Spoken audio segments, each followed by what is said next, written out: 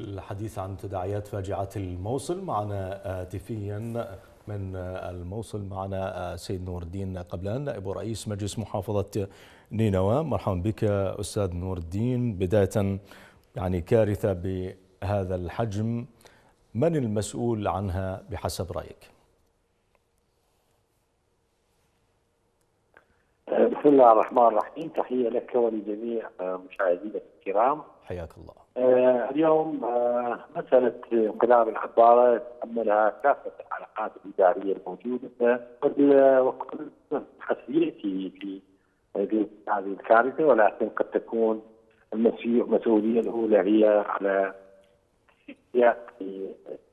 مباشرة تشرف على المناطق السياحية. وأيضا هناك شرطة النجدة أو النجدة النهرية التي كان يجب عليها أن تقوم بمنع عمل عبارة لأن هناك تحذيرات من قبل الموارد المائية ومشروع سد الموصل بأن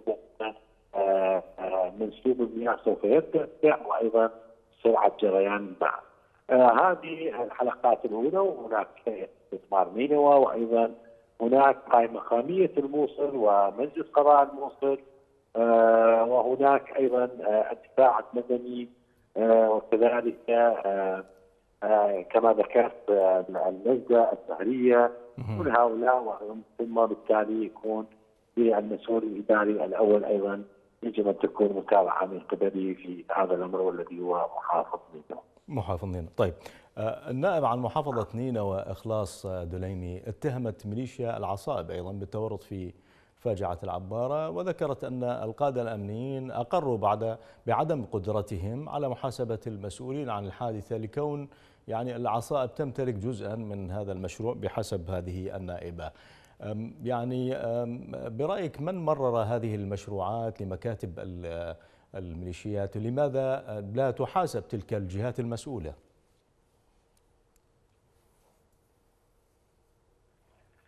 نعم اليوم الموصل تشهد الكثير من التدخلات في جهات سياسية كثيرة.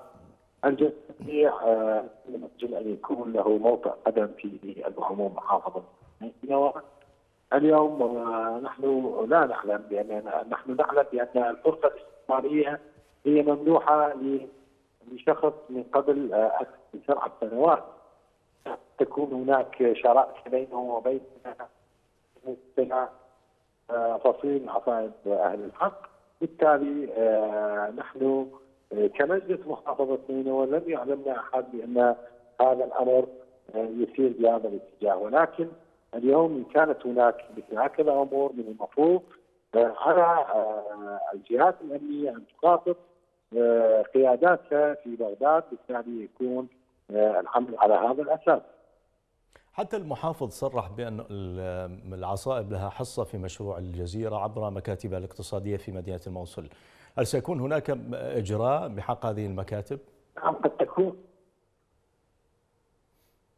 نحن أكثر من شهر كمجلس محافظة نينوى اتخذنا قرار بإغلاق كافة المكاتب التابعة للفصائل المسلحة أو لأي جهة أخرى مكاتب اقتصاديه لأنه لا يوجد في القانون العراقي.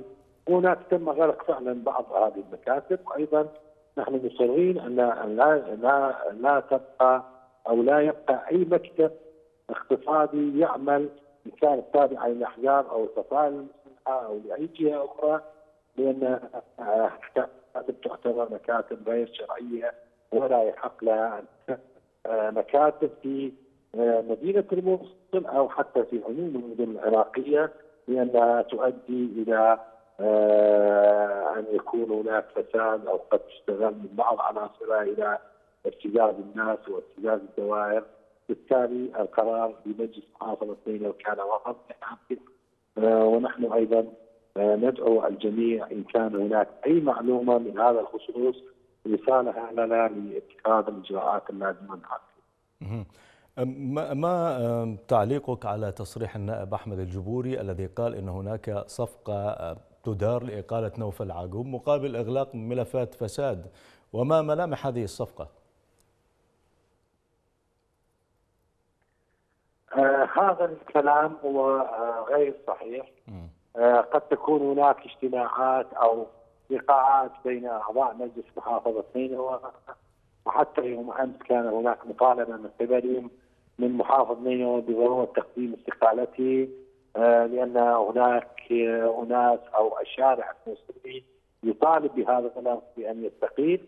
أما عقد صفقة فهذا من غير الممكن أن يكون مثل هكذا أمر لأن لحد الآن لم يتم إقالة محافظ نينوى لا من مجلس المحافظة ولا من مجلس النواب العراقي. بالتالي هناك أطر قانونية سوف يتم العمل بها في حالة اقالته من آه، فتح مقابل وأيضا يتم اختيار محافظ من خلال آه، المرشحين الذين يتقدمون بهذا الأمر أنا أتعجب من آه، أن مواقع التواصل الاجتماعي تناقلت هذا الأمر ولكن لا يوجد مثل هكذا شيء. طيب هل إقالة المحافظ هي ردة فعل حكومية تناسب حجم هذه الفاجعة التي أكد نواف عن المحافظة أن الفساد الحكومي هو سببها الأول.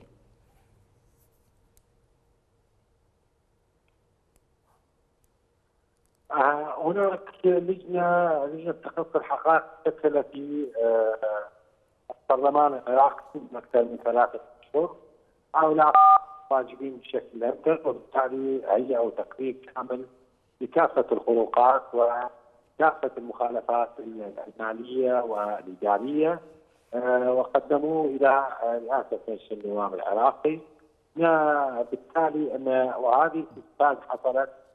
هي أيضا أكدت بأن يجب آه، أو شكل ضغط إعلاميا آه، ضغط إعلامي على المطالب التي كانت موجودة أو التوصيات الموجودة في تقرير تقصي الحقائق البرلمانية. أخيرا أستاذ نور الدين بعد يومين من الحادثة أين الجهود الحكومية سواء بانتشال الجثث التي شارك فيها أيضا بعض المواطنين أو حتى بمراعاة أهالي القتلى؟ نحن اليوم كحكومة محلية وبالإمكانيات المتوفرة لدى الشرطة النهرية أو اللجنة النهرية والدفاع المدني نعمل بكل امكانيات كل جهدها ولكن هناك امكانيات ضعيفة.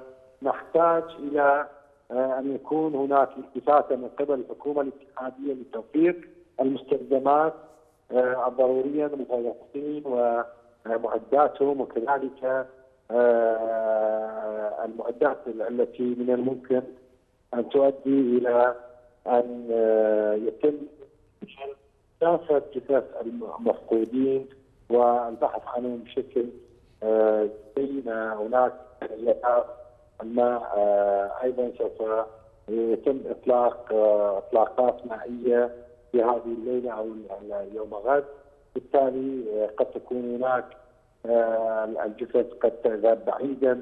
خارج مدينة الموصل وقد تصل إلى كيلومترات عشرات الكيلومترات نعم. بالتالي هذا الأمر يحتاج إلى جهد آه، كبير آه، يكون مدعوم من قبل الحكومة الاتحاديه في بغداد. من الموصل سيد نور الدين قبلان نائب رئيس مجلس محافظة نينوى شكرا جزيلا لك.